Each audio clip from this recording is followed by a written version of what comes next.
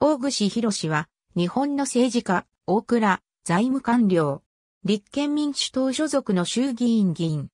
内閣総理大臣補佐官、内閣府大臣政務官、復興大臣政務官、財務大臣政務官、民進党政務調査会長、民主党佐賀県連代表等を歴任した。佐賀県木島郡有明町で生まれ、佐賀大学教育学部附属中学校、佐賀県立佐賀西高等学校、東京大学法学部を卒業した。大学卒業後大倉省に入省して理財局で、主に財政等融資を担当する。1991年にカリフォルニア大学ロサンゼルス校、ビジネススクールに留学して経営学修士を取得した。後に長野県諏訪税務署長や国際通貨基金日本理事室審議役、財務省主計局主査を歴任する。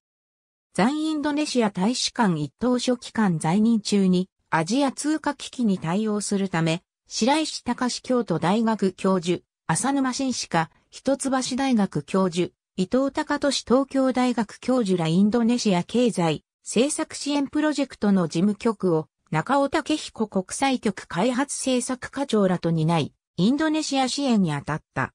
金融庁監督局銀行第一課、銀行監督調整官等の役職を経て、2005年に財務省を退官する。同年、民主党佐賀県総支部連合会副代表に就任し、佐賀2区で同党の公認を受ける。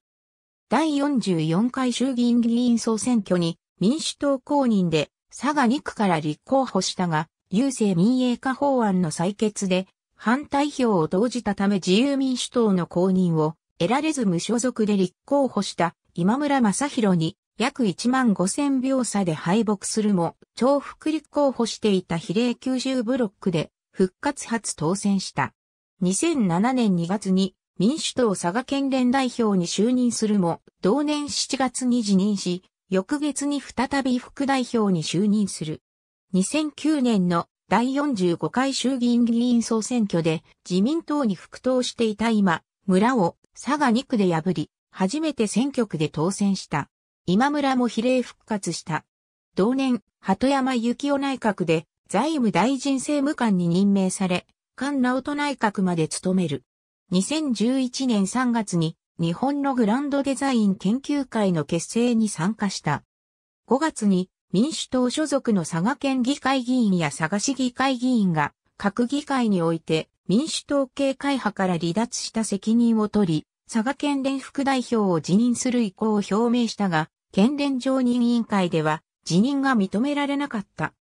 9月に野田内閣で内閣府大臣政務官に任命され、翌年2月の野田第一次改造内閣から復興大臣政務官を兼務する。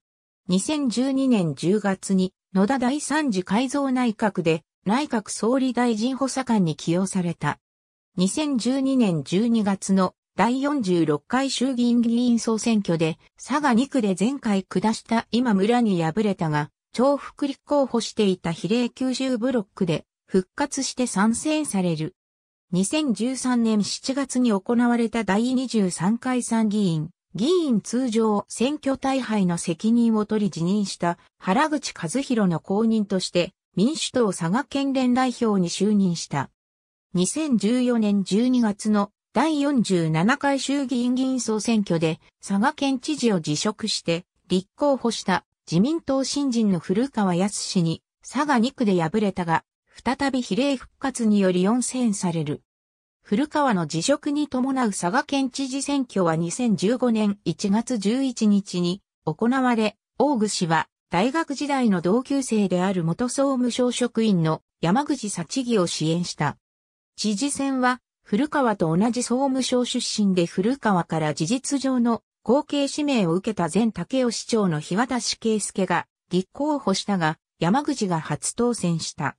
2016年3月に民主党、維新の党の合流により決闘した民進党に参加し、党政務調査会長代理に就任する。9月の民進党代表選挙で連邦代表代行の推薦人に名を連ね、代表に選出された連邦の下で政調会長代理から昇格する形で民進党政務調査会長に起用された。2017年10月の第48回衆議院議員総選挙で希望の党公認で佐賀2区から立候補し、自民党の古川康氏を約6800差で破り後選される。古川も比例復活する。11月の希望の党共同代表選挙に立候補して14票を獲得したが、39票を獲得した玉木雄一郎に敗れた。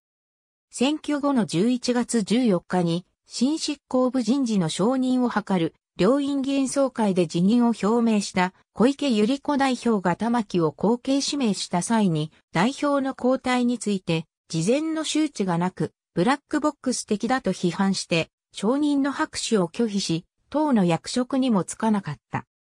2018年5月に民進党と希望の党の合流に伴い発足した国民民主党に参加せず、同じく希望の党から国民民主党に参加しなかった田島要、本村健太郎と共に、旧民進党系の無所属議員の会派である無所属の会に加入した。2019年1月15日に無所属の会から立憲民主党会派に移籍した。